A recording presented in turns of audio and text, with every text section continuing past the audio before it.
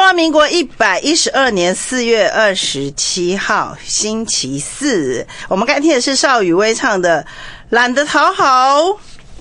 好，我们哎，其实应该现在要要再要再拿来给帆吃才对，对不对哦？对对对，因为我今天特别说我要给帆吃那个燕窝。哦哟，这么高级！对对，一定要一定要，因为因为帆，我每次要跟帆形容的时候，因为毕毕竟帆帆是另外一个世代的人。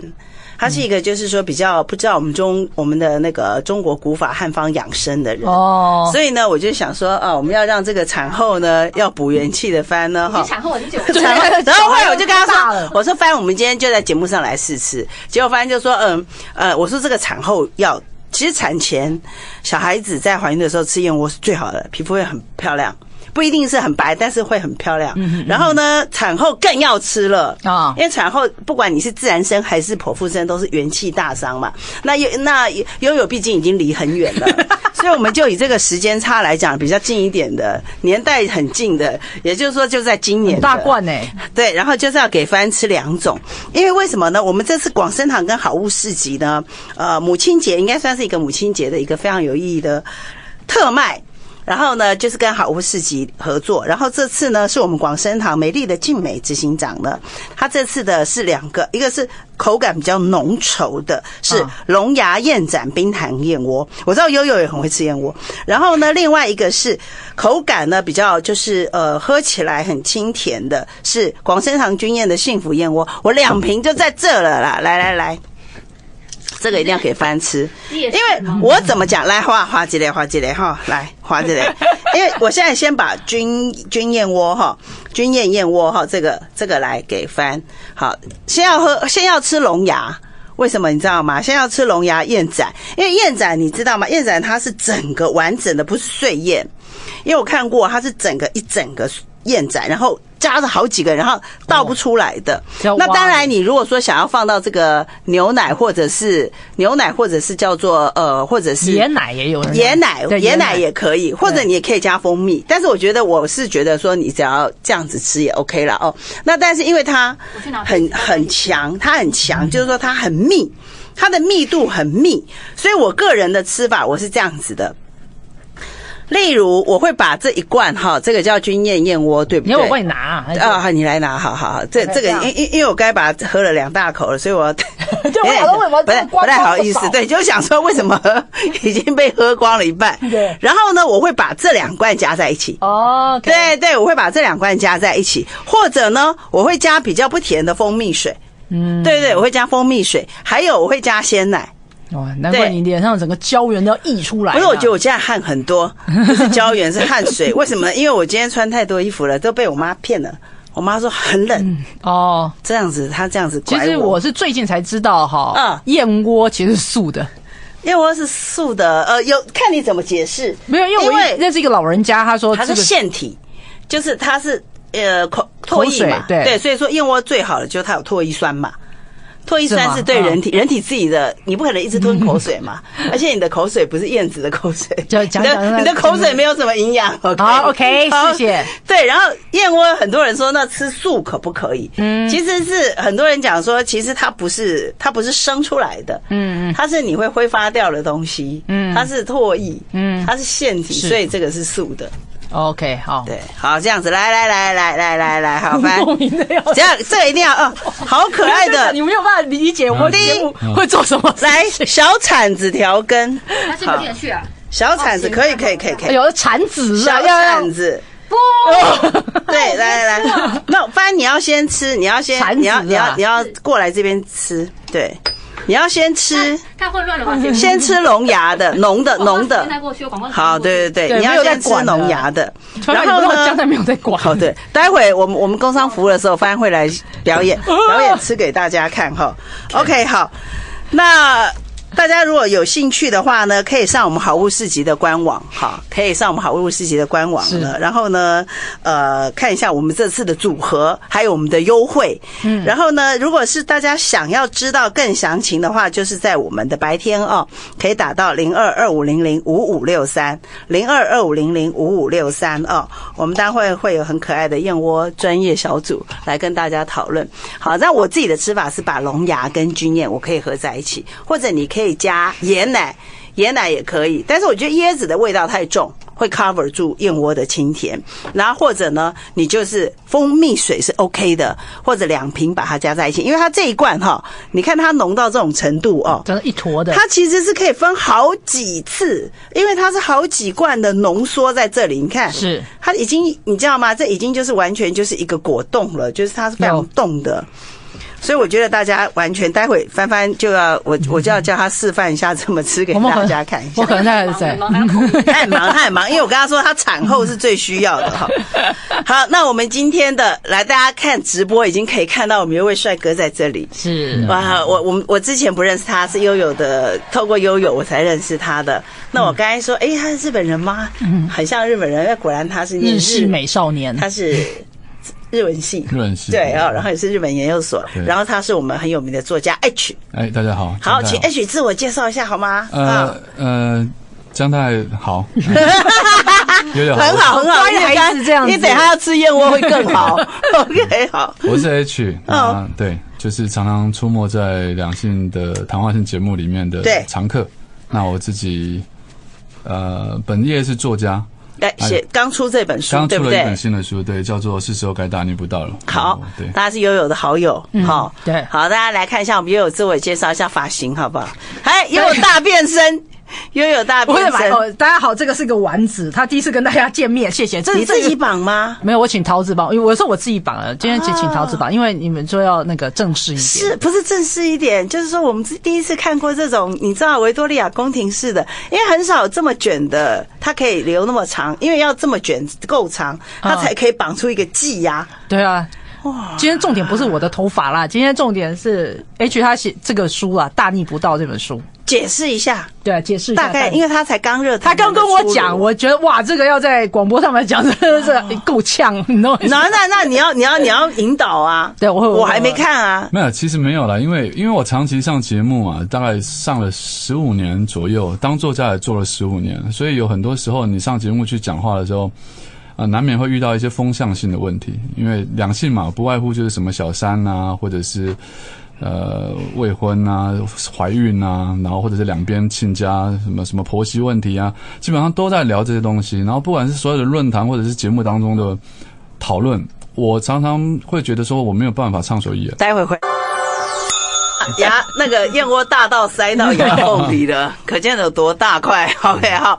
啊，H 刚才说他很想畅所欲言，因为毕竟呃，可能有些时候你接受访问大概就是一段一段分配好的嘛。对对对。那你今天可以讲，因为我看到里面的标题蛮内容蛮真，呃，应该是说耸动，耸动哈，争议是不是？所以说是时候该大逆不道的意思就是。就是我觉得现在就是一个大家可以出来讲真心话的时候嗯，好比说刚刚姜太有翻到里面一个边那个主题是讲说靠，这是一个靠性吸引力在赚钱的一个时代。是啊，我我后面打了我后面打了个问号。对 对对，打了个问号。但事实上，我要讲的实话就是，的确现在很多年轻人都是靠性吸引力在赚钱的。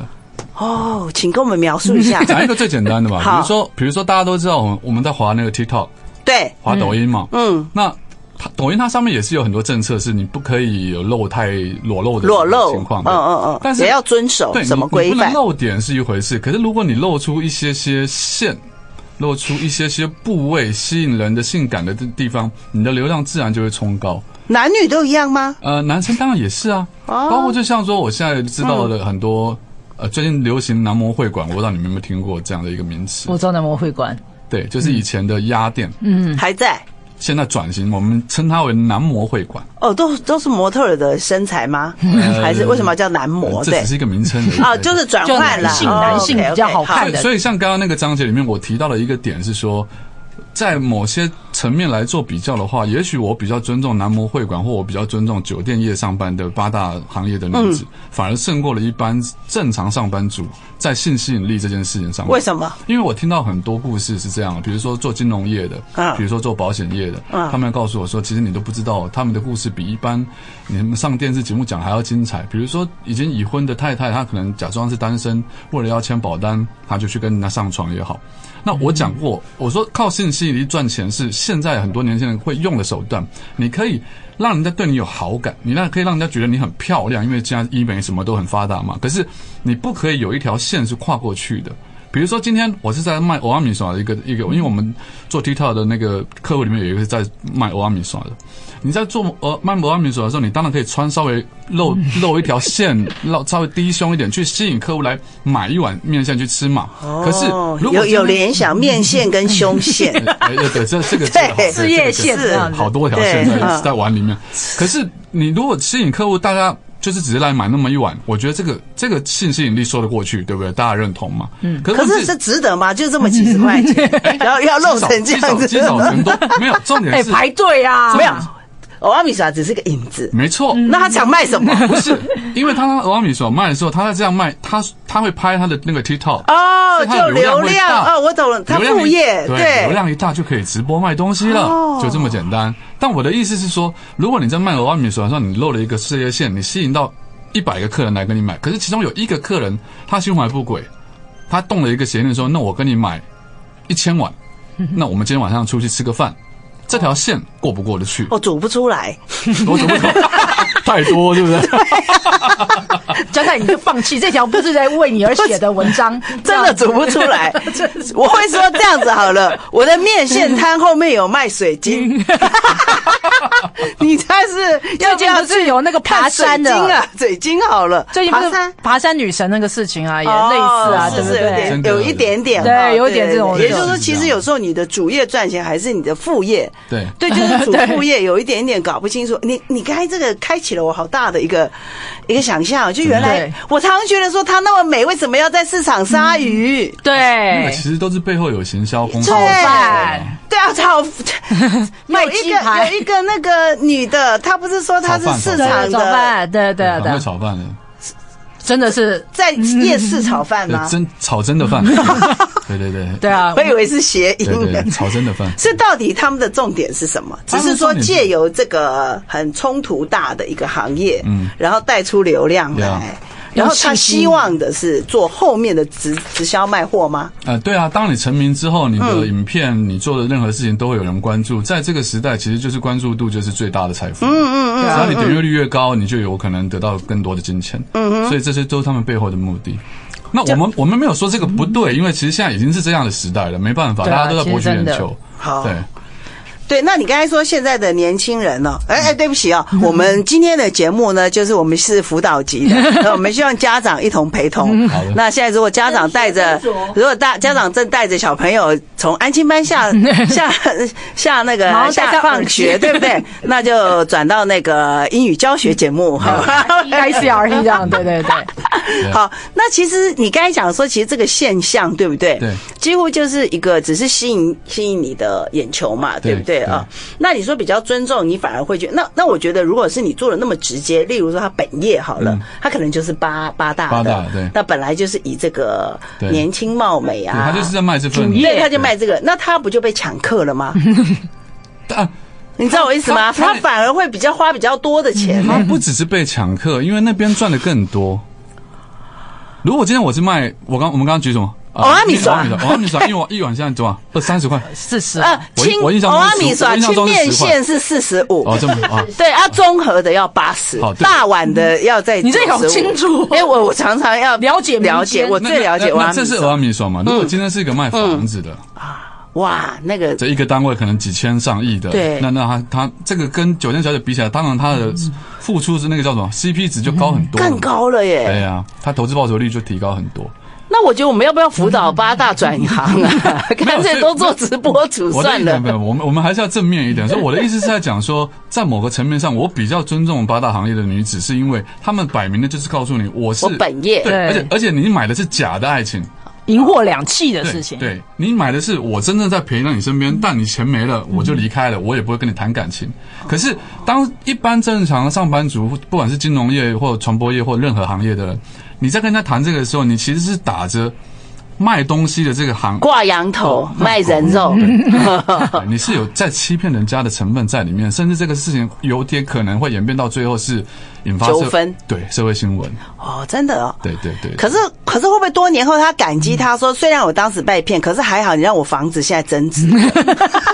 哎呦喂，对呀、这个会很因为其实我觉得，呃，你刚才这个话题，我还真的一直在想，原来你今天是告诉我这个点，我才通了，就是说为什么他们那么漂亮，然后他们也可以学历也不错，他们要呃就好像一下就去摆地摊啦、就我不是说摆地摊这个行业怎么样，而是穿的那么隆重，很不好工作的，你知道吗？隆重，原来穿的其实很简单的，嗯，很 隆重而简单，呃 对，简单的隆重，对，穿的那么不得体啦，有重点穿的都不是工作服就对了。对，就为什么？你是刚哦像有时候觉得你是刚上完瑜伽课然后来签单的吗？哎，那这样。子讲的话，有时候我们如果是说我们今天去逛夜市，嗯。或者是说路边摊什么的，我们看到有直播架的，可能要小心，他可能厨艺不怎么样，而是为了要流量，对不不能够以？偏概全，搞不好人家是真的练了很久。色艺俱佳，对对对对。哎呀，这个好，这个真的，但但是我现在看到直播了，我可能就说我们换一家好了，这一家可能大家要叫我们去买钻石现在每一家的。现在都有在直播。很多都有在直播，真的啦。哦，对。啊，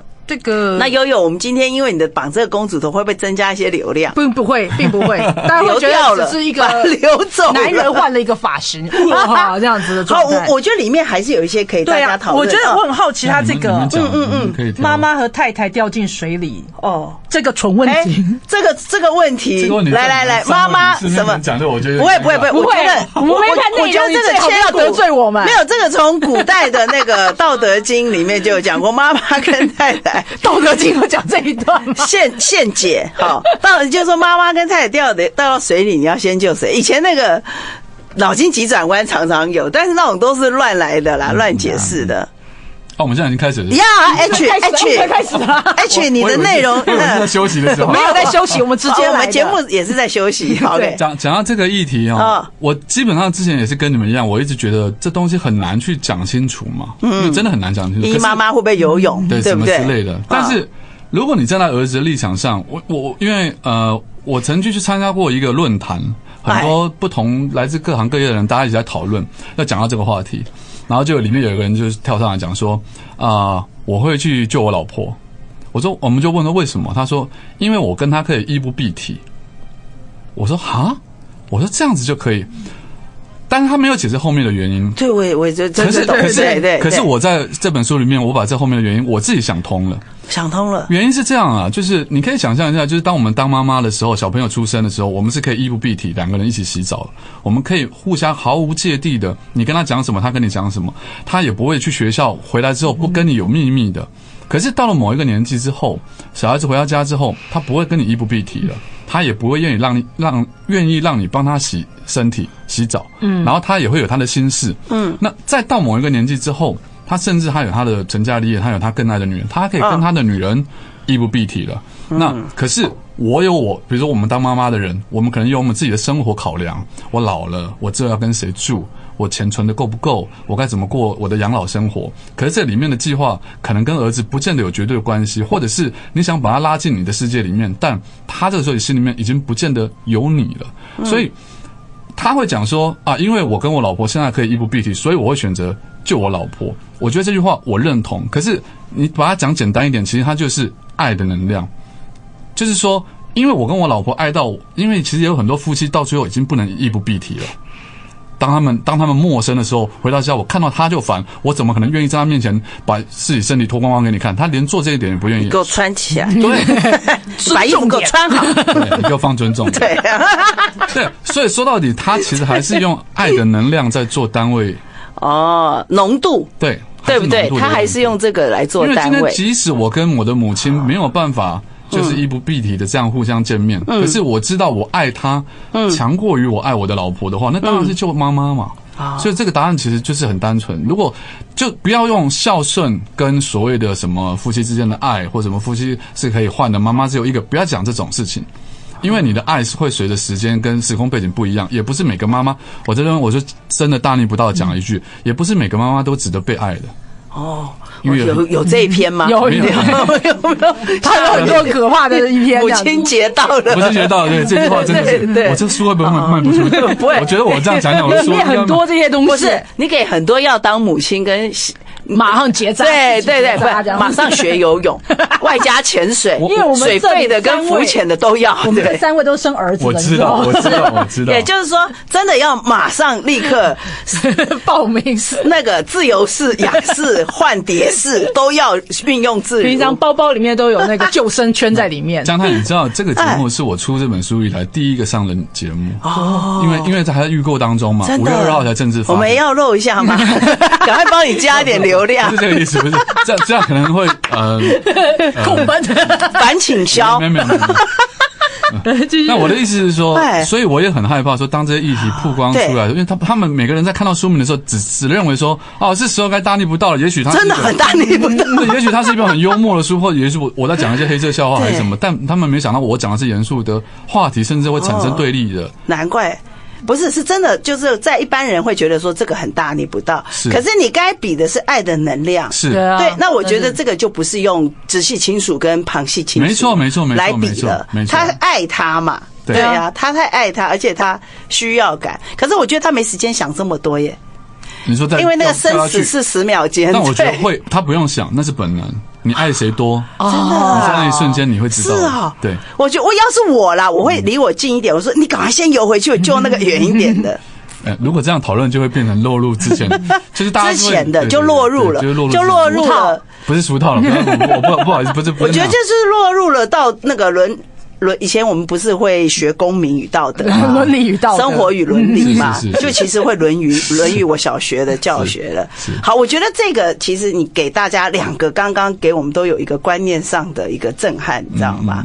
但是它不无不无反映的就是现今的社会就是这个样子。是哎是是，因为就像我前一阵子在这本书刚开始要预购的时候，我第一篇抛出来文章是叫做说，先把嫁跟娶跟孝顺这些国字、中国字、中华文字废除掉吧。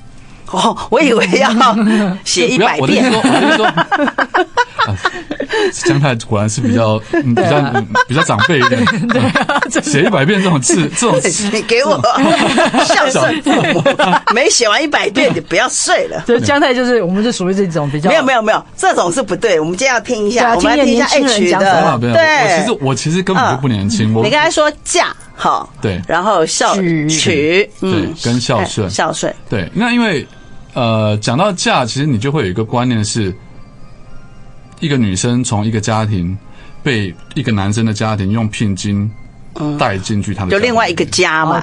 哦。我们工商服务的时候讨论的是更 更必必须更更到更更更另外三岁以上去更辅导级的，所以我们就广播待会 PG-13 我们要回来刚刚的嫁娶，对对。还有孝子这三个字，嗯你觉得应该是要重新定义是或者打破？呃应该是说我们不要使用这样的字。这里面牵扯到很多背后的观念了，因为当然我们都知道，就是台湾是华人社会里面就等于是父权社会嘛。那你是父系社会的话，你嫁一个女人过来，通常我们的观念是要付聘金的，所以嫁就是刚刚我们在拆文解字，嫁就是一个女生到另外一个人家的家里面去。嗯，那男生娶老婆是把一个女子取得到他的家里面来，还把他嫁妆拿过来，对，还把他嫁妆拿然后上面是一个娶，对嗯，不当的夺取。那可是他这个 他这个含义就不是结婚，因为在在外国人来讲，他们是讲结婚嘛，他们没有嫁跟娶，他们就是 marriage 嘛，嗯，他们就是 marry 嘛，marry me，我我我对。marry me 之类的。那如果是结婚的话，我们讲一个很单纯的物理现象是，两边的家庭，他们的原生家庭各派出一个男生一个女生啊，或各派出一个男生跟一个男生，不管了性别，多元啊现在同婚过嗯过了嘛。各派出两个人出来，他们共组一个家庭，这样子的话，其实是有三个家庭的存在。但是如果嫁娶这两个字不断的被使用，并且我们那些习俗没有破，比如说付聘金也好，呃，什么什么要要裁裁什么裁瓦片，这些习俗不废除掉的话，你的感觉就会变成是这个女生是从她的家庭出来到另外一个家庭去住，没有第三个家庭，没有第三个新生的家庭出现，而是等到儿子的呃新郎这边的原生家庭慢慢的消灭掉之后，他们的家庭才会真正的显现出来。那为什么会这样子？那是因为男尊女卑，那就是女生要以男生为主，那是因为以前的人会觉得男生赚钱比较多，那是因为大家会觉得女生要依靠男生，但现在不是这样子啊，现在不是这样子，因为如果你是这样子的话，你嫁过去你就会有婆媳问题。就不大家都很清楚，我不可能把你这个媳妇当做自己的女儿看待。再怎么讲，你总是会有好，我不应该这样讲，对不起，我讲的太武断。他是有可能跟他感情很好，可是他毕竟就是来跟你分享了你跟儿子之间的爱嘛，所以你不可能你期待说我的那边的家人会对我多好。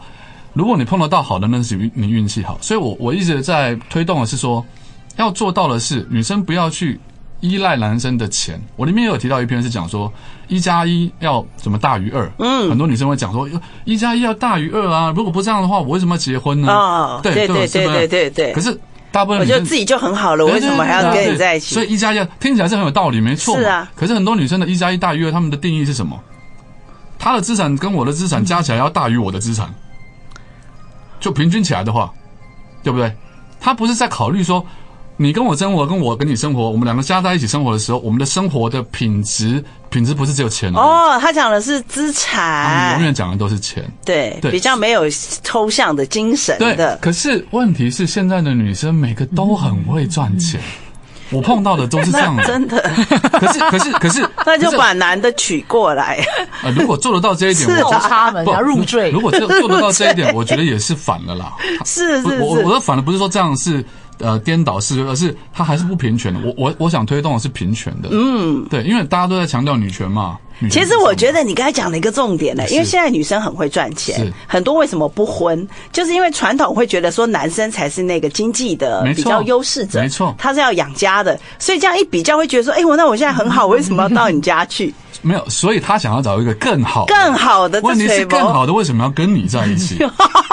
就是这么简单的道理。所以这现在是 现在结婚率不高，跟离婚率高。的原因都在这边，请大家不要赚那么多钱，或者不要让人家知道你赚那么多钱。对，真正很会赚钱的人为什么要跟你？悠悠，哎，我检讨一下，没有，我只想到我奶奶，我奶奶家里很有钱，我爷爷家也很不错。啊，但我奶奶嫁到我爷爷家第一天晚上都完了，嫁坏了。为什么？哎呦，我爷爷家的佣人比我奶奶带来的还少。这样子，我奶哦亏了，我爷爷就一辈子都被我奶奶压着。我以为是说他的。寝具 没有，还寝具不高级，用人太少，这样子，真真的，你陪嫁就陪嫁那么多，对你陪嫁就就几十来个这样子，那不能开玩笑。不然我们回到二十一世纪了然后，我们 H 在这里，对对，他因为 H 其实 H 你会常常接到很多人写信给你，或者是在你的脸书，我连在路上都会碰到。对啊，这样。哦，哇塞，你是什么张老师哎？呃，H 老师，张老师，张老师太老，从来一次，基本上 H 老师，所以他们看到你就会直直言，对不对？秘密都忍不住要跟你说了。嗯。呃，我曾经坐在电影院外面等朋友，旁边坐了一个就很像貌似做行政工作的人，就是不是打扮的很起眼，哎哎，上班族，就比较朴素一点的。然后坐在那边，我说，哎，他就认出我来。然后我说你等朋友，他说对了，等朋友看看电影。然后就坐了大概两秒钟，我就说，嗯，你是不是外遇了？哇，你这什么天线宝宝啊？他就说，他就他就反正他就他就跟我承认了，说对。那他就说，他就跟我讲了他的秘密之类。那是在路边那个萍水相逢。你是闻着出来吗？我看得出来。哇，什么样的特征看得出来？你等下讲讲一点好不好？一点，你的直觉就是他有那种心事，就是一种我我有一种我有一份感情，我在爱着一个人，但是我不敢对外公开的那种感受。那种女性，她那个气场是。我我可以感受得到，我们这三者里面有任何人有这种气场？这三者都没有。哇哇！这三者不可能。怎么看不起人？真的看不起人了，真的。这个跟看得起人、看不起人有什么关系？不是，你看不起别人了。不是这样讲，不是这样讲，不是这样。哦，就是你可以感受到，那是有一点忧伤。对，他是有点忧，有一点忧伤。笑人家应该没有那种感觉。你不要再笑了，悠悠哈。这人家 H 很认真的。那他后来你怎么？那有解吗？还是说他只是想跟你说？呃，这种事没有什么解不解，我只能跟他说，如果你真的心情不好的话，你就到我的粉专来，你留言给我，我有空我就会回。因为我总是在回他们这些信，已经回了十几年了。那里面不乏可能有想要轻生的，或者半夜忧郁症敲我的，太多了。哦，其实，哎，我想讲一下 H 的故事。H，你说你自己本身也是有生病，是不是？哦，对，我是重度忧郁症，跟前一阵子算是癌末。那现在呢？现在指数有稳定住，所以身体。那可不可以教大家如何怎么样？你今天不是在讲这个哦。太 严格。好，OK，H 本身自己已经算是有癌症，对不对？对。可是那你的你的忧郁症是因为生病吗？还是癌症得来的？我的忧郁症，那我是先得忧郁症。我的忧郁症是我人生太崎岖。嗯，对，这个。要聊吗？这个下一集好，对对对对，太 heavy。后来后来因为忧郁症，然后又才生癌症嘛。因为忧郁症，然后我怀疑这可以讲吗？我怀疑打了疫苗之后，我得了癌症。请马上做一个，请马上更正，就是平衡一下。请，那你真的不是只有忧郁症，还有幻想。OK，好，好，我们这个医学上我们先不讨论了哈。那但是其实我想要讲的说，除了 H，因为他很多年轻人或者说他本身他的特质，有些人有特质，大家会很想看到他就哭了。对他就是温温柔的，对对对，就是他他有一种慈悲感的话，人家就会这么做。那其实我前一阵子我在想一件事，我就觉得很多人会定义，你知道现在的很老很老的人可能已经走了去当神仙了，慢慢老的人，他他的年代有跨代，他可能是五十要到六十，六十要到七十，或者他们也有可能早婚，或者可能他们现在退了职场就已经。退休了，对不对？那单身之类还啊不不对，就是可能配偶走了。我觉得很多人会以为老人喜欢含饴弄孙呢。嗯，我觉得错了。我觉得大家一定要有一个观念，不是每个老人都喜欢含饴弄孙。嗯嗯，这会害死很多老人，因为很多老老人家的忧郁症是来自于精神生活。是对，当然物质生活很重要了。哈，我们先撇开掉物质忧愁物质的那一群，有些是有稳定的物质的退休金人。嗯，我觉得他们更需要的是。滋润，所以你讲的非常符合老老老年的爱情。对呀，是敬老尊 敬老尊贤。对对对，说穿的是一种歧视。对，其实我觉得不应该把大家觉得说含饴弄孙是一种福气。嗯嗯嗯，那是把他们绑在家里，是是。你怎么看老人家的那个歧视是怎么样？因为没有有很多因为这样子老人也会被骗。对啊，所以这要衍生到这个。嗯，这该怎么讲？因为我里面讲的这个长幼有序，跟这个比较。没关系，你讲你讲你想讲的。新的话题。对，你说含饴弄孙，当然了。可是你不要把怎么讲含饴弄含饴弄孙这个词，比较是在形容说他只是偶尔玩一玩小孩而已。就是他家族人丁兴旺。对，可是可是他只是偶尔，他并不是他并不是照顾小孩。如果他变成照顾小孩的主要照顾者的话，那当然对他来讲，其实他不是一件好事。不但是体力上，甚至精神上都有很大的耗损。可是现在年轻人。比较多的是说他出去打拼事业，把小孩对把小孩丢给隔代教养，对对对隔代教养，他们会觉得这样很方便也省钱。可是他们没有想过说，当爸妈的其实已经对这种事已经不复当年了，体力不复当年了，而且他们的心情可能有更多是想要再去做。对耶，我觉得你是时候该大逆不道，要有 Part Two 哎，是比较真的对老年版的，对老人也应该要大逆不道，就是老的时候要大逆不道哎，其实。就是我为什么要对对，我为什么要照顾你们？你们应该自己生的就本来就是这样子，是不是？我老公都跟我儿子讲说，你们将来生小孩不要靠我养，我不可能帮你们照顾的，不可能，是吗？真的，对对，很早你的那个公婆，好的教育要从小开始培养，这样子是是，对啊。那你的公婆是？喜欢含饴弄孙的吗？比较喜欢，比较喜欢，但是我也是要要自己去接啊。所以我常常说我要走了，我要去接小孩或者什么之类，就是这个原因啊。嗯嗯，我因为生了小孩，我把我上班时间只能卡掉一半。能理解，理解。对啊，没有办法。那你里面那篇长幼有序，你的观点是什么呢？长幼有序，我我想一下，我写了什么？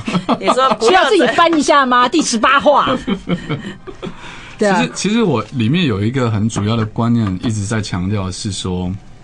呃，关系它会产生，应该说称谓了，称谓会产生关系，关系会产生呃，应该，这应该这两个字。比如说我长我是长幼有序讲的是说，孔融让梨啊，哥哥好的东西要先留给哥哥啊，资源要给哥哥啊，或者是说哥哥要先结婚啊，哥哥要先做老大该做的事啊。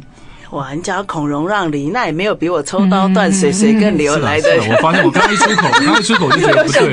你也没有比我不小心的落入了这个年龄圈套。他也没有很年轻的。OK，好，所以其实这个是传统的，觉得你的血缘上的长幼有序。那因为我会写这本书，就基立基于我现在是孑然一身，我爸妈早就走了，我是孤单一个人已经二十年了。我也离过，我也离婚了，然后我也没有小孩，我养的狗也走了，然后我又得了癌症，我又有重度忧郁症，我自己一个人生活了二十年，所以我对于那些，然后两边的亲戚，我爸妈那两边的亲戚，我是尽量都不去接触的，所以我是自己一个人生活在这世界上。然后我哥是坐牢之后，呃，后来去大陆，我们也就没有联络了。那我对这种事情我看很多跟听很多，原因是因为我自己经历很多。真正的孤儿，对，真正的孤儿，所以我还会讲说，你活在这世界上，比如说长幼有序那篇，其实我现在想起来我要讲什么了，应该讲说，在家族里面，其实你要懂得视人，啊，看人，哦哦哦哦，就不管是爸妈，爸妈你要看自己的小孩，跟兄弟姐妹你要懂得看自己的兄弟姐妹，不要觉得说她是姐姐，我就一定觉得姐姐一定很棒。妈妈就一定会一定会疼我或什么，这种绝对会怎样，应该会怎么样？谁谁应该是对谁如此？对，那都是错的。嗯，我觉得这世界上到最后，因为我提早过了老人家的生活。就是我孑然一身，已经已经好像是八八九十岁哦，才这么孑然，对对对对对，太孑然了。所以我提早过了这样的生活，我就会想告诉那个现在还你身边还有这种血缘关系的人，对亲人，其实你不用去在意血缘关系不重要，你到最后都还是得要靠自己一个人。嗯，儿女会离开你，然后你养的宠物会离开你，你另外一半会离开你。我讲的离开，不见得是呃，就是负负你而去，甚至他有可能先走嘛。嗯，这是这种事，人世间的事很难讲的，是所以你必须讲到最后就是。你要做自己，然后你自己要养活自己的经济能力，然后所有所有的事情都不需要跟着社会上的任何所谓的道德规范去走，只要不伤害人，然后你好好把自己做好，我觉得，然后发挥自己的天赋，我觉得这走这一招，不管你的人是会不会跟我一样孤单或者是凄惨，我觉得他们都会，你们都会过得很好。嗯，我其实想要整本书最想阐扬的是这个理念了。嗯，对，很棒，让大家思考。真的要思考，我觉得现在人需要思考。嗯，对不起，有点严肃。对对对，讲太呃，这个笑一时之间笑不出来，不是一一时之间觉得怎么那么早就 这么孤单？对对对，姜太舍不得，对，就是太早了，太小，那你就被迫好老了。呃，也不是这样讲，我中间也交过很多女朋友，所以我才是两性，所以我才是，所以我才是两性专家嘛，因为我交过很多女朋友。嗯，可是两女朋友归女朋友。我我自始至终还是那为什么你现在没有女朋友？因为我生病了。生病不行吗？你不要这样子不行生病不行，我我得的是射物腺癌。